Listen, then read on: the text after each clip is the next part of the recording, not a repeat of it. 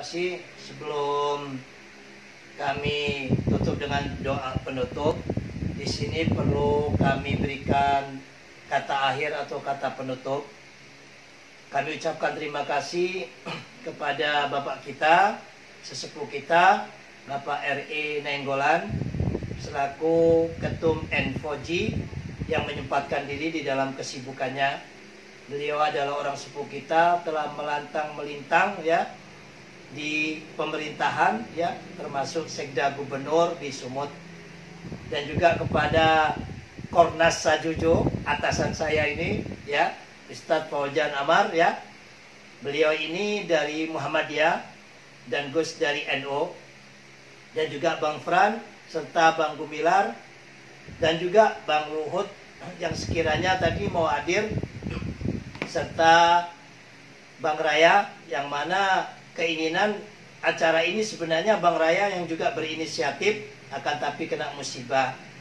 Gue sudah mengundang ke KPU akan tetapi karena kesibukan KPU ya, mereka minta ya hasil webinar ini dikirimkan. Begitu akan kami sampaikan kepada Ketua Umum KPU atau Mas Arif Budiman ya. Dan juga kepada Umas Mabes Polri harapan kita bisa hadir tetapi kesibukan yang sangat padat Nah, hasil semua pembicaraan ini akan kita sampaikan ke atas. Apa yang telah menjadi pemikiran daripada para narasumber yang sangat luar biasa ini, kami ucapkan sangat-sangat terima kasih. Dan perlu di sini, khususnya kepada teman-teman relawan Jokowi, bahwa hidup ini adalah pilihan, ya. Hidup ini pilihan. Kita sebagai relawan tidak ada yang membayar, tidak ada yang tetapi melihat daripada hasil kinerja yang baik yang telah dilakukan oleh Presiden Jokowi sehingga kita rawi-rawi rantas malang-malang putung ya untuk memperjuangkan Presiden Jokowi termasuk senior kita Bapak kita Pak R.E. Nainggolan ini ya dulu awalnya 2014 tidak mendukung Pak Jokowi tetapi melihat apa yang telah dilakukan oleh Presiden Jokowi begitu luar biasa, ya Pak RE dengan kemauan dan hatinya sendiri mengajak Gus beserta teman-teman terhimpun di dalam N4G tersebut.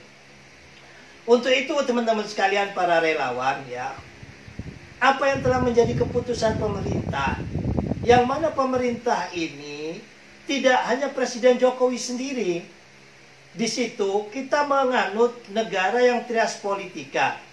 Ada eksekutif, ada legislatif, ada yudikatif. Dan ini telah diputuskan bersama. Nah, keputusan bersama ini harus dilakukan dan harus dikerjakan dengan segala konsekuensinya.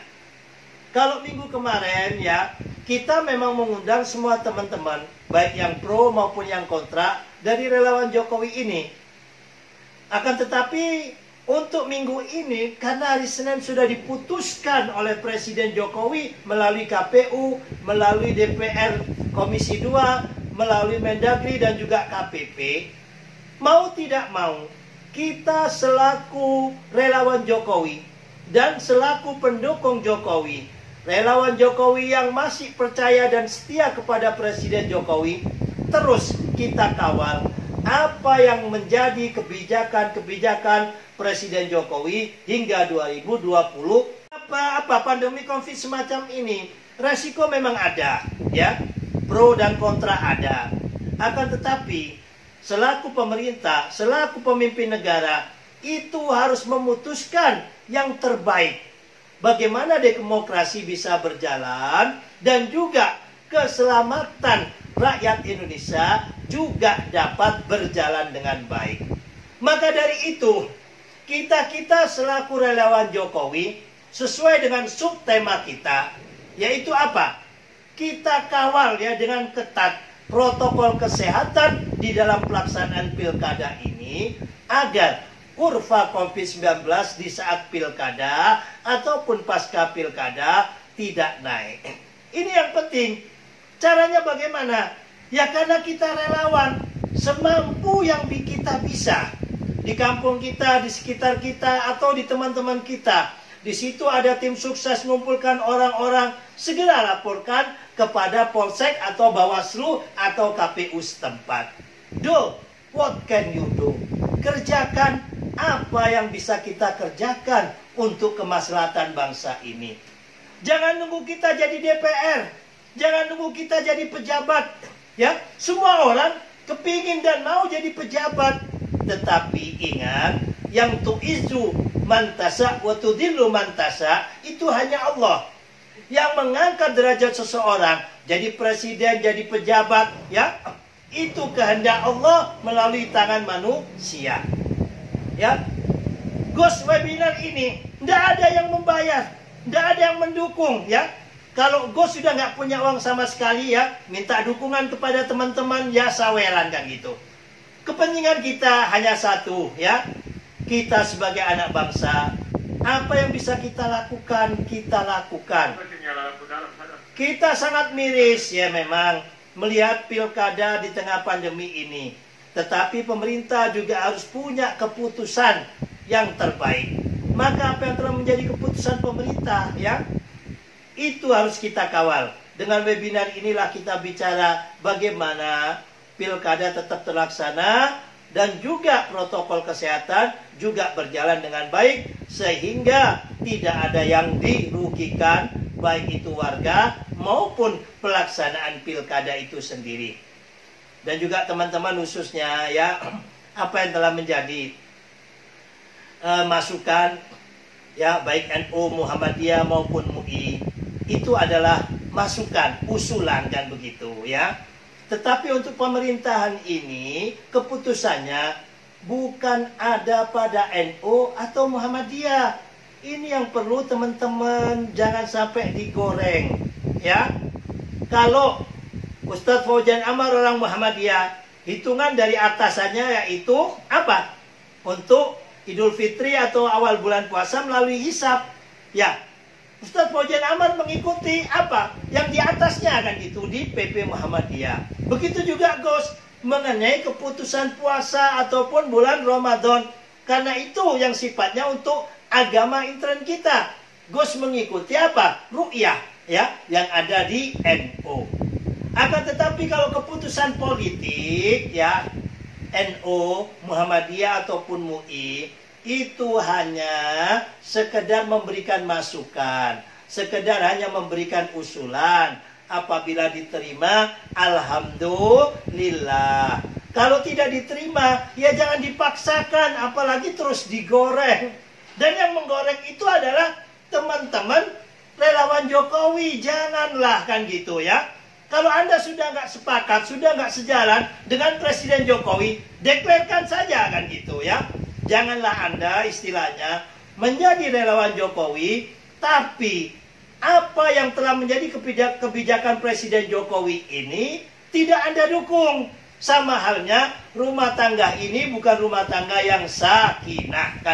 Yang gue harapkan semoga apa yang kita bicarakan di dalam webinar ini dicatat, ditulis oleh Allah, oleh Tuhan Yang Maha Esa sebagai amal kebajikan kita, amal bakti kita kepada nusa dan bangsa. Ya, berbuatlah untuk bangsa ini. Jangan tunggu kalian menjadi apa. Ya, jadi apa pun kalian, meskipun tidak jadi pejabat, meskipun Anda tidak ada di lingkaran istana, berbuatlah untuk bangsa dan negeri ini. Karena Indonesia adalah rumah besar kita semuanya yang harus kita jaga, yang harus kita rawat untuk regenerasi kita, untuk anak cucu kita, agar ke depannya bisa lebih baik dari saat kehidupan kita saat ini. Demikian, tidak ada gading yang tak retak, tidak ada manusia yang tidak ada punya salah dan hilaf. Apabila ada kelebihan daripada acara webinar ini, semata-mata campur tangan Tuhan yang Maha Esa, yang memberikan kekuatan kepada kita semuanya. Dan apabila ada kekurangan, baik kata maupun hal yang lainnya, tidak ada lain tiada bukan dari kami sendiri, dari hamba Tuhan yang lemah dan doif ini. Kalau ada sumur di ladang, boleh kita menumpang mandi. Kalau ada umur yang panjang, Bapak R.E. Nenggolan, Bapak Faujan Amar, Bang Yanas, Bang Gumilar dan teman-teman semua peserta webinar serta moderator Bang Ronald Mulya Storos ya. Jangan apa? Jangan bosan-bosan kita hadir dan bersua kembali kita berbicara sebagai anak bangsa, sebagai relawan Jokowi. Salam kompak relawan Jokowi, terus kawal Presiden Jokowi hingga 2024. Mari yang beragama Islam berdoa sama Gus, yang beragama lain silakan berdoa sesuai dengan keyakinannya. Mari kita mohon kepada Allah Ta'ala Semoga apa yang telah diputuskan oleh pemerintah Presiden Jokowi tentang pelaksanaan pilkada tanggal 9 Desember ini dapat terlaksana dengan baik, dengan lancar, sukses, jujur, adil. Yang lebih penting ya Allah, mudah-mudahan terlahir pemimpin-pemimpin bangsa yang sangat inovatif, yang bisa menjadikan dan mewujudkan cita-cita luhur daripada pendiri bangsa ini yaitu terwujudnya keadilan sosial bagi seluruh rakyat Indonesia tanpa adanya diskriminasi secara ilaha dunia al-fatihah. A'udzu billahi minasyaitonir rajim Bismillahirrahmanirrahim. Alhamdulillahirabbil alamin arrahmanir rahim maliki yaumiddin. Iyyaka na'budu wa iyyaka nasta'in. Ihdinas siratal mustaqim. Siratal ladzina an'amta 'alaihim ghairil maghdubi 'alaihim waladdallin amin. Terima kasih demikian dari kami sekali lagi terima kasih kepada para narasumber semuanya terlebih kepada senior kami Bapak R. Nainggolan dan juga semua narasumber yang lainnya kepada moderator, kepada pemirsa webinar Zoom FDR Forum Diskusi Relawan Jokowi yang insya Allah kita selenggarakan tiap hari minggu ini. Demikian dari kami, sekali lagi salam kompak ya. Relawan Jokowi terus kawal Presiden Jokowi hingga 2024. Salam Pancasila, merdeka! Assalamualaikum warahmatullahi wabarakatuh.